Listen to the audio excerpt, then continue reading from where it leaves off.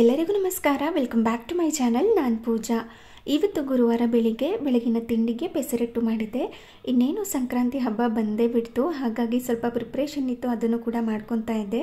ನಿನ್ನೆ ನಂದು ಒಂದು ಡ್ರೆಸ್ನ ಸ್ಟಿಚ್ ಮಾಡಿಕೊಂಡಿದ್ದೆ. ಹಾಗೆಯೇ ಇವತ್ತು ಕೊಬ್ಬರಿ ಮತ್ತು ಬೆಲ್ಲನ ಕಟ್ ಮಾಡಿ ಒಣಗಿಸಿಟ್ಕೊಳ್ಳೋಣ. ಆ ನಂತರ ಬೇಗ ಈಸಿ ಆಗಿಬಿಡತ್ತೆ. ಬೇರೆ ಪದಾರ್ಥಗಳನ್ನೆಲ್ಲ ಹಾಕಿ ಎಳ್ಳು ಬೆಲ್ಲನ ಮಾಡ್ಕೊಳ್ಳೋದಕ್ಕೆ ಈಸಿ ಆಗುತ್ತೆ ಅಂತ ಇವತ್ತಿನ ಪ್ರಿಪ್ರೇಷನ್ನ ಸ್ಟಾರ್ಟ್ ಮಾಡ್ಕೊಂಡಿದ್ದೀನಿ. ಬೆಳಗಿನ ತಿಂಡಿಗೆ ಪೆಸರಟ್ಟನ್ನು ಮಾಡ್ತಾ ಇದ್ದೆ. ನಿನ್ನೆ ರಾತ್ರಿನೇ ಅಕ್ಕಿ ಮತ್ತು ಹಸಿರು ಕಾಳು ಎರಡನ್ನೂ ಕೂಡ ನೆನೆ ಹಾಕ್ಕೊಂಡಿದ್ದೀನಿ ಇದಕ್ಕೆ ಇದೇ ಅಳತೆ ಅಂತ ಏನಿಲ್ಲ. ಹಸಿರು ಕಾಳಿಗಿಂತ ಸ್ವಲ್ಪ ಅಕ್ಕಿ ಕಡಿಮೆ ಇರಬೇಕು ಅಷ್ಟೇ. ಒಂದು ಗ್ಲಾಸ್ನಷ್ಟು ನೀವು ಹಸಿರು ಕಾಳನ್ನು ತಗೊಂಡ್ರೆ ಸ್ವಲ್ಪ ಒಂದಿಡಿಯಷ್ಟು ಅಥವಾ ಕಾಲು ಗ್ಲಾಸ್ನಷ್ಟು ಅಕ್ಕಿ ಅಥವಾ ಅರ್ಧ ಗ್ಲಾಸ್ನಷ್ಟು ಅಕ್ಕಿ ಕೂಡ ಸೇರಿಸ್ಕೊಬೋದು. ಇದನ್ನು ನೆನೆನೆ ನೆನೆಸಿಟ್ಕೊಂಡಿದ್ದೆ, ಬೆಳಗ್ಗೆ ಎದ್ದು ಇನ್ನು ಎರಡರಿಂದ ಮೂರು ಸಾರಿ ವಾಶ್ ಮಾಡಿಕೊಂಡು ಒಂದು ಮಿಕ್ಸಿ ಜಾರ್ಗೆ ಹಾಕಿ ಅದಕ್ಕೆ ಸ್ವಲ್ಪ ಶುಂಠಿ, ಹಸಿಮೆಣಸಿನ್ಕಾಯಿ, ಎರಡನ್ನು ಹಾಕಿ ಸ್ವಲ್ಪ ನೀರನ್ನು ಸೇರಿಸಿ ಇದನ್ನು ಸ್ಮೂತಾಗಿ ಪೇಸ್ಟ್ ಮಾಡ್ಕೊಂಡಿದ್ದೀನಿ. ದೋಸೆ ಹಿಟ್ಟಿನ ಹದಕ್ಕೇನೆ ಇರಬೇಕು. ನಾರ್ಮಲ್ ದೋಸೆನ ಮಾಡ್ತೀರಲ್ವ? ಅದೇ ರೀತಿ ಇರಬೇಕು. ಹಾಗೆ ಮಿಕ್ಕಿರುವಂಥ ಕಾಳನ್ನು ಕೂಡ ಸೊ ಸ್ವಲ್ಪನೇ ಈ ರೀತಿ ಸೇರಿಸ್ಕೊಂಡು ಪ್ರತಿ ಸಾರಿನೂ ಇದಕ್ಕೆ ಸ್ವಲ್ಪ ಶುಂಠಿ, ಹಸಿಮೆಣಸಿನ್ಕಾಯಿ ಎರಡನ್ನೂ ಹಾಕಿ ಈ ರೀತಿ ಪೇಸ್ಟ್ ಮಾಡಿ ಹಾಕ್ಕೋಬೇಕು ಒಂದು ಪಾತ್ರೆಗೆ. ರುಚಿಗೆ ತಕ್ಕಷ್ಟು ಉಪ್ಪನ್ನು ಹಾಕ್ಕೊಳ್ಳೋದು ಅಷ್ಟೇ. ಇದಕ್ಕೆ ಸೋಡಾ ಹಾಕ್ಕೊಳ್ಳೋ ಅವಶ್ಯಕತೆ ಇಲ್ಲ. ತುಂಬಾ ಚೆನ್ನಾಗಿ ಬರುತ್ತೆ. ಹಾಗೆ ತುಂಬಾ ಸಾಫ್ಟಾಗಿಯೂ ಕೂಡ ಮಾಡ್ಕೋಬೋದು, ಹಾಗೆ ಗರ್ಗರಿಯಾಗಿಯೂ ಕೂಡ ಮಾಡ್ಕೋಬೋದು. ಬಟ್ ಗರ್ಗರಿಯಾಗಿ ಮಾಡಿಕೊಂಡ್ರೆ ಇದ್ರದ್ದು ಹಸಿ ವಾಸನೆ ಎಲ್ಲ ಬರೋದಿಲ್ಲ. ಹಾಗಾಗಿ ಸ್ವಲ್ಪ ಇದನ್ನು ತೆಳುವಾಗಿಯೇ ಈ ರೀತಿ ಕಲಸಿ ಎತ್ತಿಟ್ಕೊಂಡಿದ್ದೀನಿ. ಇದಕ್ಕೆ ಕಾಂಬಿನೇಷನ್ ಆಗಿ ಪೀನಟ್ ಚಟ್ನಿನ ಮಾಡ್ಕೊತಾ ಇದ್ದೀನಿ. ಇಲ್ಲಿ ಹಸಿಮೆಣಸಿನ್ಕಾಯಿನ ಸೇರಿಸಿ ಮಾಡ್ಕೊತಾ ಇರೋದು. ನಾರ್ಮಲ್ ಆಗಿ ಚಟ್ನಿನ ಮಾಡ್ತೀರಲ್ವ? ಅದೇ ರೀತಿ ಮಾಡಿರುವಂಥದ್ದು ಅಷ್ಟೇ. ಆದರೆ ಸ್ವಲ್ಪ ಶುಂಠಿ, ಬೆಳ್ಳುಳ್ಳಿ, ಹಸಿಮೆಣಸಿನ್ಕಾಯಿ ಹಾಗೆಯೇ ಸ್ವಲ್ಪ ಕಡಲೆನೂ ಸೇರಿಸಿ ಮಾಡ್ಕೊಂಡಿದ್ದೀನಿ. ಬೇಕಿದ್ರೆ ಇದಕ್ಕೆ ಒಣ ಕೊಬ್ಬರಿ ಅಥವಾ ತೆಂಗಿನಕಾಯಿ ಕೂಡ ಸೇರಿಸ್ಕೊಬೋದು. ಚಟ್ನಿ ಕೂಡ ರೆಡಿ ಆಯಿತು. ಅದಕ್ಕೆ ಬೇಕಿದ್ರೆ ನೀವು ಒಗ್ಗರಣೆ ಕೂಡ ಹಾಕ್ಕೋಬೋದು. ನಾನಿಲ್ಲಿ ಹಾಕ್ಕೊಂಡಿಲ್ಲ. ತವನ ಕಾಯಲಿಕ್ಕೆ ಇಟ್ಕೊಂಡು ಇದು ಸ್ವಲ್ಪ ಬೆಚ್ಚಗಾದ ತಕ್ಷಣ ಈ ರೀತಿ ದೋಸೆ ಬ್ಯಾಟರ್ನ ಹಾಕಿ ತೆಳುವಾಗಿ ಹರಡಿಸ್ಕೊಳ್ಳಿ. ಇದ್ರ ಮೇಲೆ ತುಪ್ಪನ ಹಾಕಿ ಕ್ರಿಸ್ಪಿಯಾಗಿ ಆಗೋ ತನಕ ರೋಸ್ಟ್ ಮಾಡ್ಕೋತೀನಿ. ತೆಳುವಾಗಿ ಮಾಡಿಕೊಂಡ್ರೆ ಏನಾಗುತ್ತೆ? ಒಂದು ಅಡ್ವಾಂಟೇಜ್ ಅಂದರೆ ಇದ್ರದ್ದು ಹಸಿ ವಾಸನೆ ಬರ್ತಾ ಇರುತ್ತೆ ಅಲ್ವಾ? ಆ ರೀತಿ ಬರೋದಿಲ್ಲ. ಕ್ರಿಸ್ಪಿಯಾಗಿ ಆದಾಗ ಟೇಸ್ಟ್ ತುಂಬಾ ಚೆನ್ನಾಗಿರುತ್ತೆ. ನೀವೇನಾದ್ರೂ ಸೆಟ್ ದೋಸೆ ಥರ ಅಥವಾ ಸಾಫ್ಟಾಗಿ ಏನಾದರೂ ಮಾಡ್ಕೊಂಡ್ರಿ ಅಂತಂದರೆ ಅದರಲ್ಲಿ ಸ್ವಲ್ಪ ಹಸಿ ವಾಸನೆ ಇರುತ್ತೆ. ಒಳಗಡೆ ಎಲ್ಲ ಬೆಂದಿರೋದಿಲ್ಲ. ನೀವು ಎಷ್ಟು ತೆಳುವಾಗಿ ಹರಡಿಸ್ಕೊಳ್ತೀರಾ, ದೋಸೆ ಅಷ್ಟೇ ಚೆನ್ನಾಗಿ ಟೇಸ್ಟಿಯಾಗಿ ಬರುತ್ತೆ. ಮೊದಲನೇ ದೋಸೆಗೆ ಸ್ವಲ್ಪ ತುಪ್ಪನ ಹಾಕಿ ರೋಸ್ಟ್ ಮಾಡ್ಕೊಂಡಿದ್ದೆ. ಅದ್ರ ಮೇಲೆ ಸಣ್ಣದಾಗಿ ಕಟ್ ಮಾಡಿ ಇಟ್ಕೊಂಡಿರುವಂಥ ಈರುಳ್ಳಿ ತುರಿದಿಟ್ಕೊಂಡಿರುವಂಥ ಕ್ಯಾರೆಟ್ನ ಹಾಕಿ ಸರ್ವ್ ಮಾಡಿದ್ರೆ ತುಂಬಾ ಟೇಸ್ಟಿಯಾಗಿರುತ್ತೆ ಇದೇ ಸಾರಿ ಈ ರೀತಿ ಸ್ವಲ್ಪ ಎಣ್ಣೆನ ಹಾಕಿ ರೋಸ್ಟ್ ಮಾಡ್ಕೊಂಡಿದ್ದೀನಿ. ಎಷ್ಟು ಕ್ರಿಸ್ಪಿಯಾಗಿ ಮಾಡ್ಕೋತೀರಾ, ದೋಸೆ ಅಷ್ಟೇ ಟೇಸ್ಟಿಯಾಗಿ ಬರುತ್ತೆ. ಬ್ರೇಕ್ಫಾಸ್ಟ್ ಎಲ್ಲ ಮುಗಿಸ್ಕೊಂಡಿದ್ದಾದಮೇಲೆ ನನ್ನ ಹಸ್ಬೆಂಡ್ಗೆ ಸ್ವಲ್ಪ ಈ ಹೆಲ್ತಿ ಮಿಲ್ಕ್ನ ಮಾಡ್ತಾ ಇದ್ದೀನಿ. ಈ ರೀತಿ ನೀವು ಕಲ್ಸಕ್ರೆನಾದ್ರೂ ಬಳಸ್ಕೋಬೋದು, ಇಲ್ಲ ಬೆಲ್ಲದ ಪುಡಿ ಕೂಡ ಬಳಸ್ಕೋಬೋದು. ಕಲ್ಸಕ್ರೆನ ಸ್ವಲ್ಪ ಕ್ರಷ್ ಮಾಡಿ, ಆನಂತರ ಮಿಕ್ಸಿ ಜಾರ್ಗೆ ಹಾಕಿ ಈ ರೀತಿ ಪೌಡರ್ ಮಾಡಿ ಎತ್ತಿಟ್ಕೊಂಡಿದ್ದೀನಿ. ಈ ರೀತಿ ಬೆಲ್ಲದ ಪುಡಿನಾದರೂ ಬಳಸ್ಕೋಬೋದು.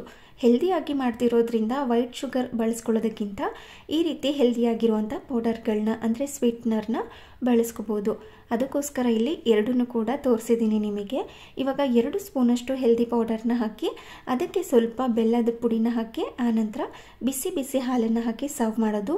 ಸ್ಪೂನ್ ಸಮೇತನ ಕೊಟ್ಟರೆ ತಳದಲ್ಲಿ ಸ್ವಲ್ಪ ಪೌಡರ್ ಹಾಗೆಯೇ ಇರುತ್ತೆ, ತರಿ ತರಿ ಇರುತ್ತಲ್ವ? ಹಾಗಾಗಿ ಅದನ್ನು ಸ್ಪೂನಲ್ಲಿ ಎತ್ಕೊಂಡು ತಿನ್ಕೋಬೋದು. ಹಾಗಾಗಿ ಸ್ಪೂನ್ ಸಮೇತನೇ ಕೊಟ್ಬಿಡ್ತೀನಿ. ಇವಾಗ ಈ ಕೊಬ್ಬರಿನ ಸಿಪ್ಪೆ ತೆಗೆದು ಕಟ್ ಮಾಡ್ಕೋಬೇಕು. ಹಾಗೆಯೇ ಬೆಲ್ಲನೂ ಕೂಡ ಸಣ್ಣ ಸಣ್ಣದಾಗಿ ಕಟ್ ಮಾಡ್ಕೋಬೇಕು. ಈ ರೀತಿ ಕೊಬ್ಬರಿ ತುರಿಯೋ ಮಣೆ ಇರುತ್ತಲ್ವಾ? ಅದರಿಂದ ಈ ರೀತಿ ಸಿಪ್ಪೆನ ಈಸಿಯಾಗಿ ತೆಗಿಬೋದು. ಚಾಕುವಿನಲ್ಲಿ ತೆಗೆಯೋದಕ್ಕಿಂತ ಇದು ತುಂಬ ಈಸಿ ಅನಿಸುತ್ತೆ. ಸಂಕ್ರಾಂತಿ ಹಬ್ಬ ಅಂದರೆ ನನಗೆ ತುಂಬಾ ಮೆಮೊರೀಸ್ ಇದೆ.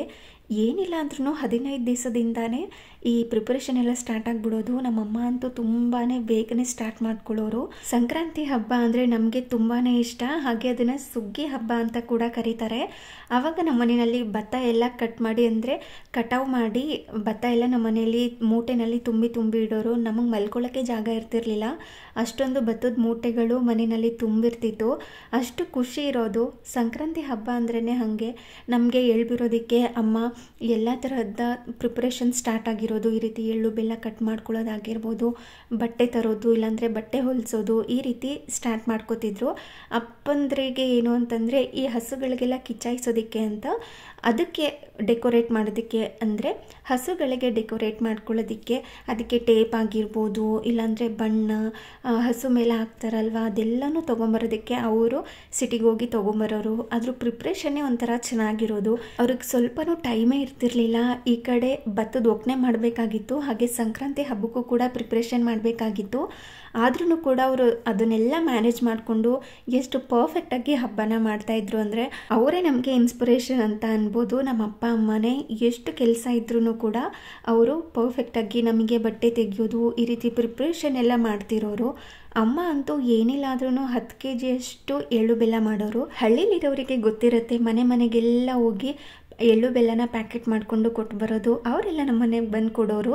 ಹಾಗೆಯೇ ಅಮ್ಮಂದಿರೆಲ್ಲ ಮಕ್ಕಳುಗಳಿಗೆ ಅಂದರೆ ಹೆಣ್ಮಕ್ಳುಗಳಿಗೆಲ್ಲ ಅಲಂಕಾರ ಮಾಡಿದ್ರೆ ಅಪ್ಪಂದಿರೆಲ್ಲ ಹಸುಗಳಿಗೆ ಅಲಂಕಾರ ಮಾಡಿ ಕಿಚ್ಚಾಯಿಸೋದಕ್ಕೆ ಹೋಗೋದು. ನಮ್ಮಮ್ಮ ಎಳ್ಳು ಬೆಲ್ಲ ಮಾಡಿ ಎಳ್ಳು ಬೀರೋದು ಅಂತ ಮಾಡೋರು. ಅಂದರೆ ದೀಪ ಎಲ್ಲ ಹಚ್ಚಿ ಆರತಿ ಎಲ್ಲ ತೆಗೆದು, ಮತ್ತು ಅಕ್ಕಪಕ್ಕದ ಮನೆಯವರೆಲ್ಲನೂ ಕರ್ಕೊಂಬಂದು ಈ ರೀತಿ ಒಂದು ಗ್ಲಾಸ್ಗೆ ದುಡ್ಡು, ಅಂದರೆ ಕಾಯಿನ್ಸ್ ಇರುತ್ತಲ್ವ ಅದು? ಹಾಗೆ ಎಳ್ಳು ಬೆಲ್ಲ ಎರಡನ್ನು ಹಾಕಿ ಮುಖದಿಂದ ಈ ರೀತಿ ಸುರಿಯೋರು. ಅದನ್ನು ಎಳ್ಬಿರೋದು ಅಂತ ಅಂತಾರೆ. ಹಳ್ಳಿಗಳಲ್ಲೇ ಈ ಸಂಕ್ರಾಂತಿ ಹಬ್ಬ ಅಂದರೆ ಸುಗ್ಗಿ ಹಬ್ಬನ ತುಂಬ ಗ್ರ್ಯಾಂಡಾಗಿ ಮಾಡ್ತಾರೆ. ಇನ್ನು ಕೆಲವ್ರ ಮನೇಲಿ ಎಳ್ಬಿರ್ತಾರೆ ಇವಾಗಂತೂ ಸಿಟಿಯಲ್ಲಿ ತುಂಬ ಫ್ಯಾನ್ಸಿಯಾಗಿ ಹೋಗ್ಬಿಟ್ಟಿದೆ. ಸುಮ್ಮನೆ ಪ್ಯಾಕೆಟ್ ಮಾಡ್ಕೊಳ್ಳೋದು, ಒಂದೊಂದು ಮನೆಗೆ ಹೋಗಿ ಕೊಟ್ಟು ಬರೋದು ಅಷ್ಟೇ.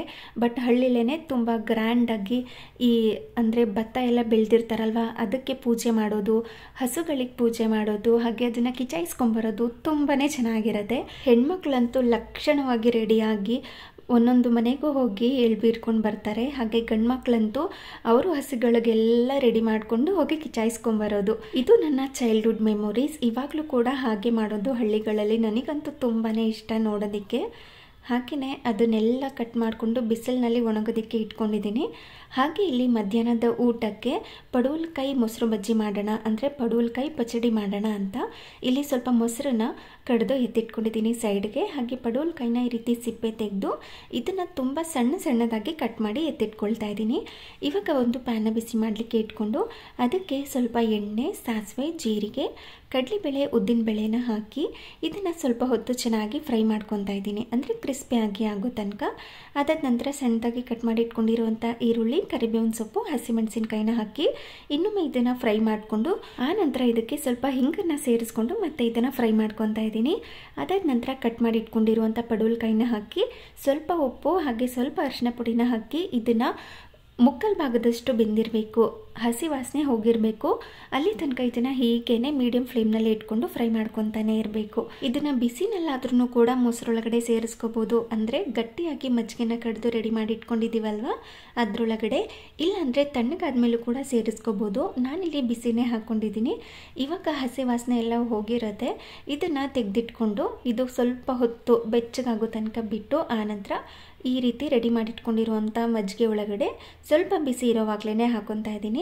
ಅದಾದ ನಂತರ ರುಚಿಗೆ ತಕ್ಕಷ್ಟು ಉಪ್ಪನ್ನು ಹಾಕಿ ಸ್ವಲ್ಪ ಕಟ್ ಮಾಡಿ ಇಟ್ಕೊಂಡಿರುವಂಥ ಕೊತ್ತಂಬರಿ ಸೊಪ್ಪನ್ನು ಹಾಕಿ ಮಿಕ್ಸ್ ಮಾಡಿಕೊಂಡ್ರೆ ಟೇಸ್ಟಿಯಾಗಿರುವಂಥ ಪಡವಲಕಾಯಿ ಪಚ್ಚಡಿ ರೆಡಿಯಾಗಿರುತ್ತೆ. ನಾವು ರೆಡಿ ಮಾಡಿ ಇಟ್ಕೊಂಡಿದ್ದೀವಲ್ವ ಆ ಪಡುವಲ್ಕಾಯಿದ್ದು ಪಲ್ಯ ಥರ ಅದನ್ನು ಹಾಗೆ ಕೂಡ ತಿನ್ಬೋದು. ಸ್ವಲ್ಪ ತೆಂಗಿನ ತುರಿನ ಹಾಕಿ ಪಲ್ಯ ಥರ ರೆಡಿಯಾಗಿರುತ್ತೆ. ಅದಕ್ಕೆ ಸ್ವಲ್ಪ ಮೊಸರನ್ನ ಸೇರಿಸ್ಕೊಂಡ್ರೆ ಈ ರೀತಿ ಪಚಡಿ ರೆಡಿಯಾಗಿರುತ್ತೆ. ಅನ್ನ ಸಾಂಬಾರು ತಿಂದು ಬೋರ್ ಆಗಿದ್ರೆ ಅಥವಾ ಸಾಂಬಾರು ಮಾಡೋದಕ್ಕೆ ಟೈಮ್ ಇಲ್ಲ, ಯಾರು ಮಾಡ್ತಾರೆ ಅಂತ ಅನಿಸ್ತಾ ಇದ್ದಾಗ ಈ ರೀತಿ ಇನ್ಸ್ಟೆಂಟಾಗಿ ಮಾಡ್ಕೋಬೋದು. ತುಂಬಾ ಚೆನ್ನಾಗಿರುತ್ತೆ. ಹಾಗೆಯೇ ಬಿಸಿ ಬಿಸಿ ಅನ್ನೋ ಜೊತೆ ಈ ಪಡುವಲ್ಕಾಯಿ ಪಚಡಿ ಹಾಗೆ ಒಂದು ಸುಟ್ಟಿಟ್ಕೊಂಡಿರುವಂತಹ ಹುರುಳಿಕಾಳಿನ ಹಪ್ಪಳ ಪರ್ಫೆಕ್ಟ್ ಕಾಂಬಿನೇಷನ್ ಈ ಪಚಡಿ ಅನ್ನೋ ಜೊತೆ ಚಪಾತಿ ಜೊತೆನೂ ಕೂಡ ತುಂಬಾ ಚೆನ್ನಾಗಿರುತ್ತೆ. ಇವಾಗ ಲಂಚ್ ಎಲ್ಲ ಮುಗಿಸ್ಕೊಂಡು ಇನ್ನು ಸ್ವಲ್ಪ ನಂದು ಯೂಟ್ಯೂಬ್ ಕೆಲಸ ಇತ್ತು, ಅದನ್ನು ಕೂಡ ಮುಗಿಸ್ಕೊಂಡು ಡಿನ್ನರ್ಗೆ ಸ್ವಲ್ಪ ಬೇಗನೆ ಪ್ರಿಪ್ರೇಷನ್ ಮಾಡ್ಕೋತಾ ಇದ್ದೀನಿ. ಮಧ್ಯಾಹ್ನ ಮಾಡಿದಂತಹ ಅನ್ನ ಸ್ವಲ್ಪ ಉಳಿದಿತ್ತು, ಹಾಗಾಗಿ ಅದಕ್ಕೆ ಮೊಸರನ್ನ ಮಾಡ್ಕೊಳ್ಳೋಣ ಅಂತ ಇಲ್ಲಿ ಎಲ್ಲನೂ ಕೂಡ ರೆಡಿ ಮಾಡ್ಕೊತಾ ಇದ್ದೀನಿ. ಮೊಸರನ್ನಕ್ಕೆ ಕಾಂಬಿನೇಷನ್ ಆಗಿ ಈ ರೀತಿ ಆಲೂಗಡ್ಡೆದು ಫ್ರೈ ಮಾಡ್ಕೊಳ್ಳೋಣ ಅಂತ ಆಲೂಗಡ್ಡೆನೂ ಕೂಡ ಸಿಪ್ಪೆ ತೆಗೆದು ಈ ರೀತಿ ಕ್ಯೂಬ್ಸ್ಗಳಾಗಿ ಕಟ್ ಮಾಡ್ಕೊತಾ ಇದ್ದೀನಿ. ದಪ್ಪದಾಗಿಯೂ ಕೂಡ ಮಾಡ್ಕೋಬೋದು, ಇಲ್ಲ ಸಣ್ಣದಾಗಿಯೂ ಕೂಡ ಮಾಡ್ಕೋಬೋದು. ನಾನಿಲ್ಲಿ ಸ್ವಲ್ಪ ಮೀಡಿಯಮ್ ಆಗಿ ಕ್ಯೂಬ್ಸ್ಗಳ ಥರ ರೆಡಿ ಮಾಡಿಕೊಂಡು ಇದನ್ನು ಒಂದೆರಡು ಸರಿ ಚೆನ್ನಾಗಿ ತೊಳೆದು ಆನಂತರ ನೀರು, ಸ್ವಲ್ಪ ಉಪ್ಪನ್ನು ಹಾಕಿ ಇದನ್ನು ಬೇಯೋದಕ್ಕೆ ಇಟ್ಕೊಳ್ತೀನಿ. ಇದು ಬೇಯೋಷ್ಟರಲ್ಲಿ ಮೊಸರನ್ನಕ್ಕೆ ಬೇಕಾಗಿರುವಂಥ ಎಲ್ಲ ತರಕಾರಿ ಹಣ್ಣುಗಳನ್ನು ಕೂಡ ಕಟ್ ಮಾಡಿ ರೆಡಿ ಮಾಡ್ಕೋತೀನಿ. ನಾನಿಲ್ಲಿ ಈರುಳ್ಳಿ, ಕ್ಯಾರೆಟ್ ಹಾಗೆ ದಾಳಿಂಬೆ ಹಣ್ಣು, ದ್ರಾಕ್ಷಿನ ತೊಗೊಂಡಿದ್ದೀನಿ. ಇಷ್ಟನ್ನು ಕೂಡ ಕಟ್ ಮಾಡಿಕೊಂಡು ಕ್ಯಾರೆಟ್ನ ತುರಿದಿಟ್ಕೊಂಡು ಹಸಿಮೆಣಸಿನಕಾಯಿ, ಕೊತ್ತಂಬರಿ, ಕರಿಬೇವನ್ನು ಕೂಡ ರೆಡಿ ಮಾಡಿ ಎತ್ತಿಟ್ಕೊಂಡಿದ್ದೀನಿ. ಇದನ್ನೆಲ್ಲ ಕಟ್ ಮಾಡಿಕೊಂಡು ರೆಡಿ ಮಾಡ್ಕೊಳ್ಳೋಷ್ಟರಲ್ಲಿ ಆಲೂಗಡ್ಡೆ ಕೂಡ ಬೆಂದಿರುತ್ತೆ. ನೀರನ್ನೆಲ್ಲ ಶೋಧಿಸ್ಕೊಂಡು ಈ ರೀತಿ ಎತ್ತಿಟ್ಕೊಂಡಿದ್ದೀನಿ. ಇವಾಗ ಅನ್ನನ ಸ್ವಲ್ಪ ಹೊತ್ತು ಚೆನ್ನಾಗಿ ಮ್ಯಾಶ್ ಮಾಡಿಕೊಂಡು ಅದಕ್ಕೆ ಸ್ವಲ್ಪ ಮೊಸರು ಹಾಗೆ ಸ್ವಲ್ಪ ಹಾಲು. ನಿಮಗೆ ತೆಳುವಾಗಿ ಬೇಕಿದ್ರೆ ಜಾಸ್ತಿ ಕೂಡ ಹಾಕ್ಕೋಬೋದು. ಬುತ್ತಿ ಅನ್ನೋ ಥರ ಗಟ್ಟಿಯಾಗಿ ಬೇಕಿದ್ರೆ ಆ ರೀತಿ ಕೂಡ ಇದನ್ನೆಲ್ಲ ಕಡಿಮೆ ಹಾಕಿ ಮಾಡ್ಕೋಬೋದು. ನಾನಿಲ್ಲಿ ತೆಳುವಾಗಿ ಮಾಡ್ಕೋತಾ ಇದ್ದೀನಿ. ಸ್ವಲ್ಪ ಉಪ್ಪನ್ನು ಹಾಕಿ ಮೊದಲಿಗೆ ಇದನ್ನು ಚೆನ್ನಾಗಿ ಮಿಕ್ಸ್ ಮಾಡ್ಕೋಬೇಕು. ಆ ನಂತರ ಸಣ್ಣದಾಗಿ ಕಟ್ ಮಾಡಿ ಇಟ್ಕೊಂಡಿರುವಂಥ ಈರುಳ್ಳಿ ತುರಿದಿಟ್ಕೊಂಡಿರುವಂಥ ಕ್ಯಾರೆಟ್, ಸಣ್ಣದಾಗಿ ಕಟ್ ಮಾಡಿ ಇಟ್ಕೊಂಡಿರುವಂಥ ಸೌತೆಕಾಯಿ, ಹಾಗೆ ಬಿಡಿಸಿಟ್ಕೊಂಡಿರುವಂಥ ದಾಳಿಂಬೆ ಹಣ್ಣು, ಈ ರೀತಿ ಮೀಡಿಯಮ್ ಆಗಿ ಕಟ್ ಮಾಡಿ ಇಟ್ಕೊಂಡಿರುವಂಥ ದ್ರಾಕ್ಷಿ ಹಣ್ಣು. ಇಷ್ಟನ್ನು ಹಾಕಿ ಸಣ್ಣದಾಗಿ ಕಟ್ ಮಾಡಿ ಇಟ್ಕೊಂಡಿರುವಂತಹ ಹಸಿಮೆಣಸಿನ್ಕಾಯಿ, ಸ್ವಲ್ಪ ಕಾಳು ಮೆಣಸನ್ನು ಕುಟ್ಟಿ ಪುಡಿ ಮಾಡಿ ಸೇರಿಸ್ಕೊಂಡಿದ್ದೀನಿ. ಇದು ಕಂಪ್ಲೀಟ್ಲಿ ಆಪ್ಷನಲ್ ಬೇಕಿದ್ರೆ ಸೇರಿಸ್ಕೊಳ್ಳಿ, ಇಲ್ಲಾಂದರೆ ಹಸಿಮೆಣಸಿನಕಾಯಿನ ಸ್ಕಿಪ್ ಮಾಡ್ಕೊಳ್ಳಿ, ಇಲ್ಲ ಈ ಕಾಳು ಮೆಣಸನ್ನು ಸ್ಕಿಪ್ ಮಾಡ್ಕೊಳ್ಳಿ. ನಂತರ ಒಂದು ಸ್ಪೂನಷ್ಟು ಎಣ್ಣೆಗೆ, ಸಾಸಿವೆ, ಜೀರಿಗೆ, ಕಡಲೆಬೇಳೆ, ಉದ್ದಿನಬೇಳೆ ಒಣಗಿರುವಂಥ ಮೆಣಸಿನಕಾಯಿ, ಕರಿಬೇವು ಹಿಂಗನ್ನು ಹಾಕಿ ಒಗ್ಗರಣೆ ಕೊಟ್ಕೊಂಡು ಇದನ್ನು ಚೆನ್ನಾಗಿ ಮಿಕ್ಸ್ ಮಾಡ್ಕೋತಾ ಇದ್ದೀನಿ. ಸ್ವಲ್ಪ ಗಟ್ಟಿ ಅನ್ನಿಸ್ತು. ಹಾಗಾಗಿ ಸ್ವಲ್ಪ ಕೊನೆಯಲ್ಲಿ ಸ್ವಲ್ಪ ಮಜ್ಜಿಗೆನ ಕಡ್ದು ಸೇರಿಸ್ಕೊಂಡು ಮೇಲೆ ಕೊತ್ತಂಬರಿ ಸೊಪ್ಪನ್ನು ಹಾಕಿ ಮಿಕ್ಸ್ ಮಾಡಿಕೊಂಡ್ರೆ ಪರ್ಫೆಕ್ಟ್ ಆಗಿರುವಂಥ ಮೊಸರನ್ನ ರೆಡಿಯಾಗಿರುತ್ತೆ ಹಾಗೆ ಈ ಆಲೂಗಡ್ಡೆನ ಬೇಯಿಸಿ ಇಟ್ಕೊಂಡಿದ್ವಲ್ವ? ಅದಕ್ಕೆ ಸ್ವಲ್ಪ ಮಸಾಲೆ ಪುಡಿನ ಮಾಡ್ಕೊತಾ ಇದ್ದೀನಿ. ಸ್ವಲ್ಪ ಕಡಲೆಬೇಳೆ ಹಾಗೆ ಸ್ವಲ್ಪ ಉದ್ದಿನಬೇಳೆ, ಸ್ವಲ್ಪ ಧನಿಯಾ ಹಾಗೆ ಸ್ವಲ್ಪ ಜೀರಿಗೆನ ತೊಗೊಂಡಿದ್ದೀನಿ. ನಾಲ್ಕರಿಂದ ಐದು ಕಾಳುಮೆಣಸು ಐದರಿಂದ ಆರು ಸ್ವಲ್ಪ ಮೆಂತ್ಯನ ಹಾಕಿ ಮೂರು ಎಷ್ಟಲಷ್ಟು ಬೆಳ್ಳುಳ್ಳಿನ ಸಿಪ್ಪೆ ತೆಗೆದೇನೆ ಸೇರಿಸ್ಕೊಂಡಿದ್ದೀನಿ. ಹಾಗೆ ಮೂರು ಬ್ಯಾಡಗಿ ಮೆಣಸಿನ್ಕಾಯಿ. ಸ್ವಲ್ಪ ಕರಿಬೇವಿನ ಸೊಪ್ಪು, ಇಷ್ಟನ್ನು ಹಾಕಿ ಚೆನ್ನಾಗಿ ಇದನ್ನು ಡ್ರೈ ರೋಸ್ಟ್ ಮಾಡ್ಕೋಬೇಕು. ಘಮ ಬರೋ ತನಕ. ಆನಂತರ ಕಂಪ್ಲೀಟಾಗಿ ಕೂಲ್ ಆದಮೇಲೆ ಒಂದು ಮಿಕ್ಸಿ ಜಾರ್ಗೆ ಹಾಕಿ ತರಿ ತರಿಯಾಗಿ ಪೌಡರ್ ಮಾಡ್ಕೋಬೇಕು. ಇವಾಗ ಅದೇ ಪ್ಯಾನ್ಗೆ ಒಂದೆರಡು ಸ್ಪೂನಷ್ಟು ಎಣ್ಣೆನ ಹಾಕಿ ಅದು ಕಾದದ ನಂತರ ಸ್ವಲ್ಪ ಸಾಸಿವೆ ಹಾಗೆ ಸ್ವಲ್ಪ ಜೀರಿಗೆ, ಕರಿಬೇವಿನ ಸೊಪ್ಪನ್ನು ಹಾಕಿ ಒಗ್ಗರಣೆನ ರೆಡಿ ಮಾಡಿಕೊಂಡು ಸ್ವಲ್ಪ ಹಿಂಗನ್ನು ಸೇರಿಸಿ ರೆಡಿ ಮಾಡ್ಕೋಬೇಕು. ಅದಾದಮೇಲೆ ಬೇಯಿಸಿಟ್ಕೊಂಡಿರುವಂಥ ಆಲೂಗಡ್ಡೆನ ಹಾಕಿ ನಂತರ ಪೌಡರ್ ಮಾಡಿ ಇಟ್ಕೊಂಡಿದ್ವಲ್ಲ, ಮಸಾಲ ಪೌಡರ್ ಅದನ್ನು ಕೂಡ ಹಾಕಿ ರುಚಿಗೆ ತಕ್ಕಷ್ಟು ಉಪ್ಪು, ಕೊತ್ತಂಬರಿ ಸೊಪ್ಪನ್ನು ಹಾಕಿ ಚೆನ್ನಾಗಿ ಇದನ್ನು ಮಿಕ್ಸ್ ಮಾಡಿಕೊಂಡ್ರೆ ಕರ್ಡ್ ರೈಸ್ಗೆ ಪರ್ಫೆಕ್ಟ್ ಆಗಿರುವಂಥ ಆಲೂಗಡ್ಡೆ ಫ್ರೈ ರೆಡಿಯಾಗಿರುತ್ತೆ.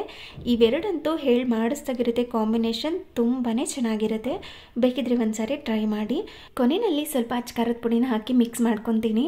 ಈ ಆಲೂಗಡ್ಡೆ ಫ್ರೈ ಮೊಸರನ್ನಕ್ಕೆ ಅಂತಲೇ ಅಲ್ಲ, ಹಾಗೆ ಕೂಡ ತಿನ್ಬೋದು. ಸ್ವಲ್ಪ ನಿಂಬೆಹಣ್ಣಿನ ರಸನ ಹಿಂಡ್ಕೊಂಡು ಇಲ್ಲ ಅಂದರೆ ಅನ್ನ ಸಾಂಬಾರು ಜೊತೆ ಕೂಡ ತುಂಬಾ ಚೆನ್ನಾಗಿರುತ್ತೆ.